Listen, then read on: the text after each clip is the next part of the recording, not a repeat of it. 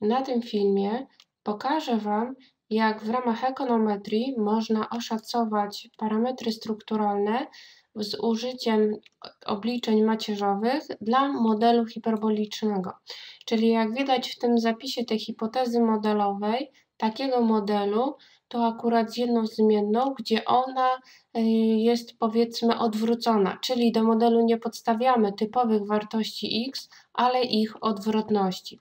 Jeżeli mamy zadanie y, o określonych wartościach y, wartości zmiennej objaśniającej i objaśnianej, my będziemy mogli oszacować ile wynosi wyraz wolny oraz ile wynosi jakby nazwijmy to współczynnik kierunkowy w modelu z jedną zmienną objaśniającą, która wpływa na oczywiście na y, czyli parametry strukturalne, które budują model. Oczywiście wiemy, że ten element, y, który pozostaje po prawej stronie na samym końcu, czy to jest zapisane tak jak tu eta, t, czy nt, jeszcze może inne oznaczenie, po prostu et, to jest wyraz wolny.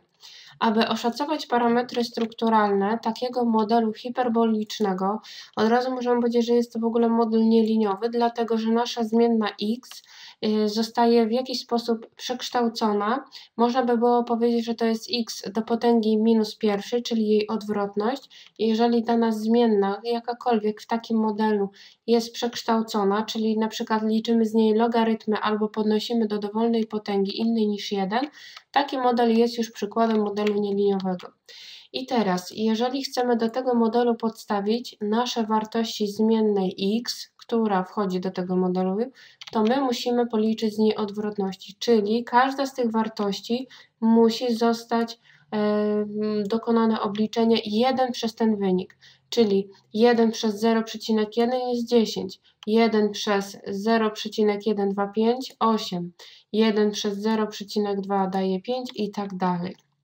Jeżeli widzimy, że w modelu, w takim zapisie yy, mamy zmienną y w żaden sposób nie przekształconą, no to tej zmiennej już nie, prze, nie zmieniamy.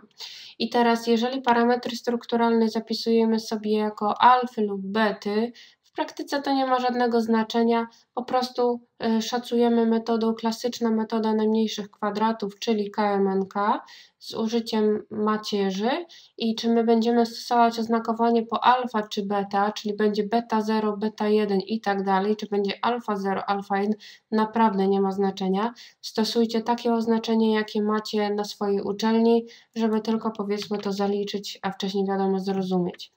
E, dlatego ja tutaj akurat czy będę stosowała oznakowanie alfa czy beta nie ma znaczenia, ale będziemy musieli dokonać takich obliczeń macierzowych, jakie tutaj Wam pokazuję.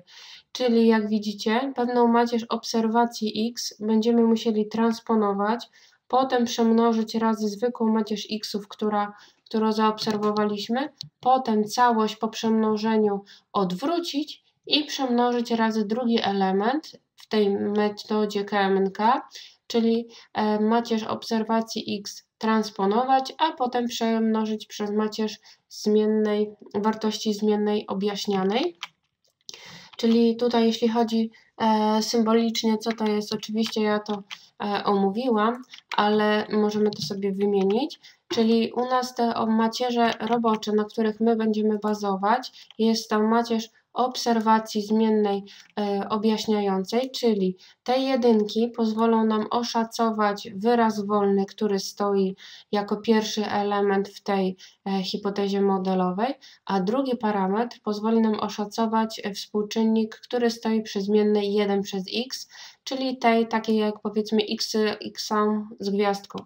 Czyli tutaj te 1 przez x my sobie wpisujemy i te liczby pozwolą nam oszacować parametr stojący przy tych liczbach w hipotezie modelowej, czyli u nas beta 2.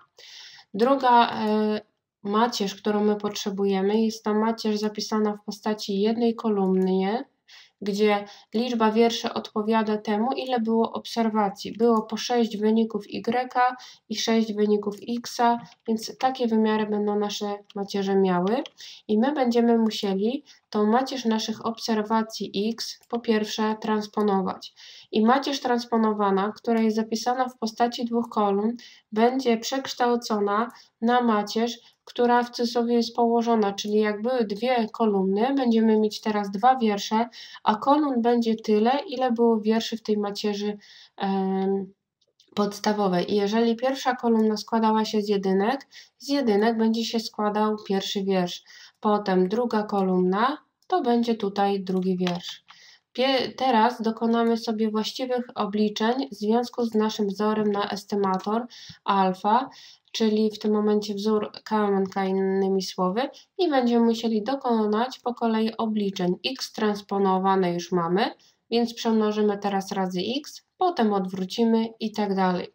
Czyli jeżeli mamy x transponowane, macierzowo przemnożone razy tą macierz, odpowiednio będziemy musieli mieć e, to powiedzmy e, przekształcone, otrzymamy macierz o wymiarach 2 na 2, gdzie najpierw przemnożona jest ta macierz razy ta macierz, oczywiście w, sposób macierzowy. Jeżeli chcecie powtórzyć, jak się przemnaża ze sobą dwie macierze, jak najbardziej możecie zerknąć na inny film e, na moim kanale, mówiący o tym, jak obliczać dokonywać obliczeń macierzowych. Kolejno, tą macierz, którą mamy, zgodnie ze wzorem na KMK, musimy odwrócić. Oczywiście na oddzielnym filmie możecie zobaczyć, jak się odwraca macierze, lub powiedzmy zerknąć do pierwszych elementów wykładu z ekonometrii, czy też z algebry, jeszcze wcześniejszego tematu.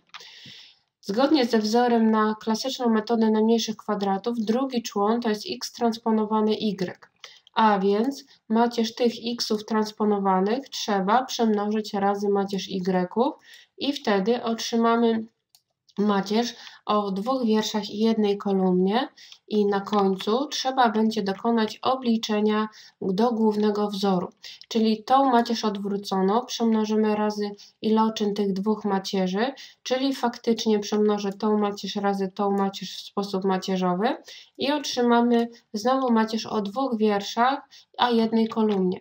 Dzięki temu będziemy znali oszacowane parametry e, tego modelu nieliniowego. Tutaj dokładnie analizowałam model hiperboliczny i te oszacowane parametry to jest po kolei wyraz wolny, a potem jest e, współczynnik stojący przy zmiennej x, która oczywiście była liczona jako 1 przez x, a więc w tym momencie będziemy mogli powiedzieć, że e, ta uzupełniona tutaj hipoteza modelowa ma następujące wartości.